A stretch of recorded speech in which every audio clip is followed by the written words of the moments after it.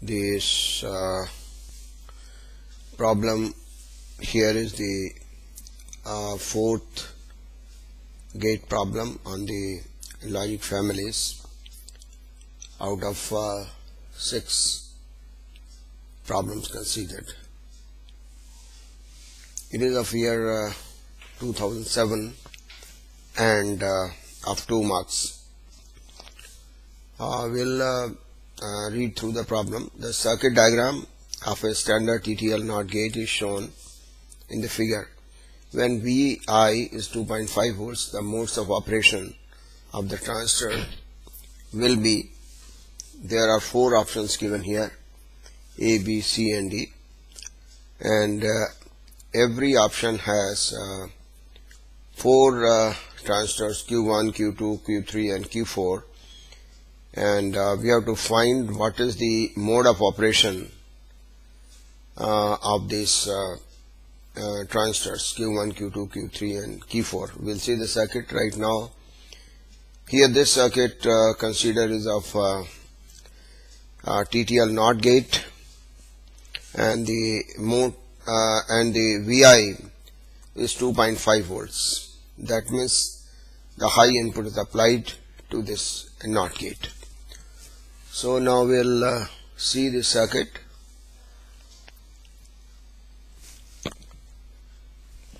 The uh, circuit arrangement is as shown here.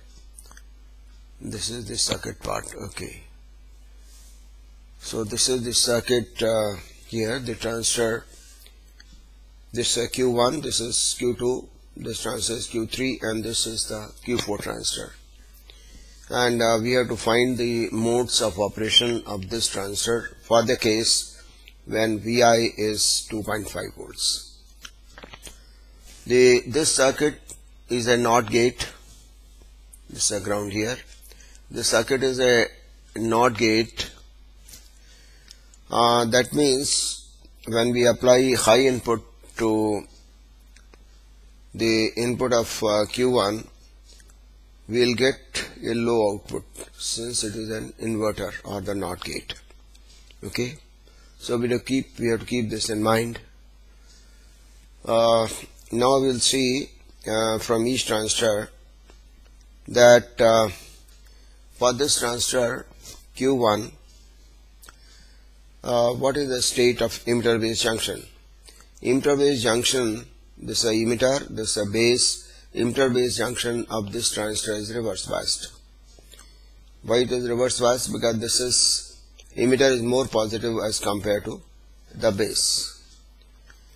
So uh, the other junction that is collector base junction, this junction is forward bias because this is positive with respect to the collector.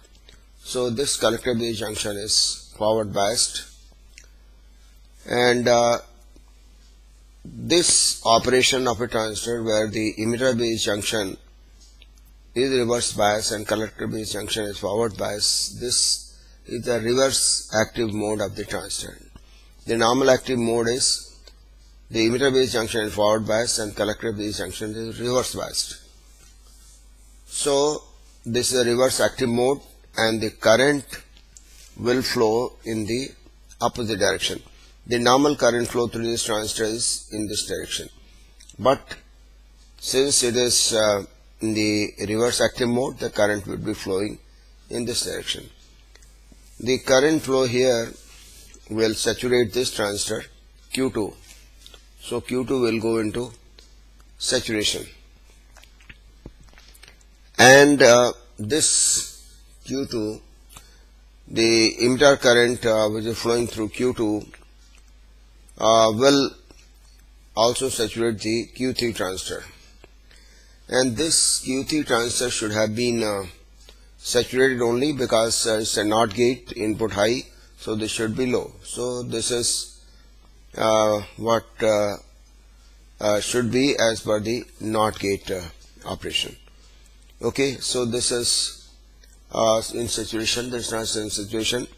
Now we can see here what this transistor here.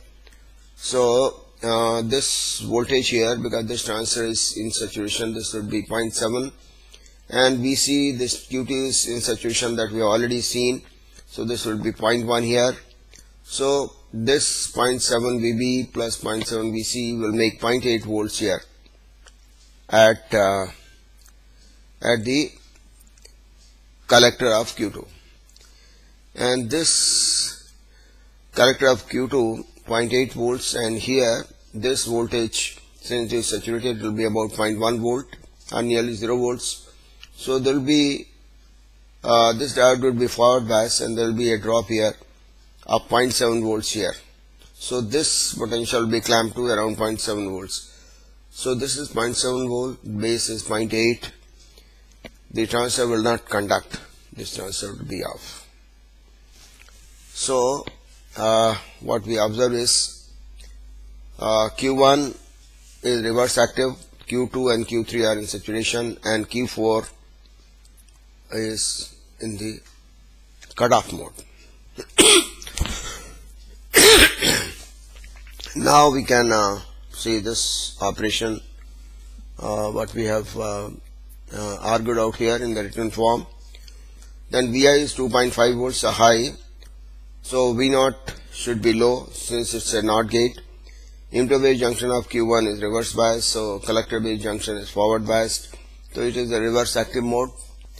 And uh, current to base of Q2 so it saturates Q2 and current from emitter of Q2 to Q3 so Q3 Q3 turns on so Q2 collector is 0.8 volts that we have seen earlier. So it's not enough to turn on the Q4 transistor. So Q4 will be in cutoff. So the option B here is the right choice here. We can see the option B. Uh, this is this is option B. Says that um, Q1 is in reverse active mode Q2 is in saturation, Q3 is in saturation and Q4 is in cutoff. So this is the uh, right option for this uh, problem. Thank you.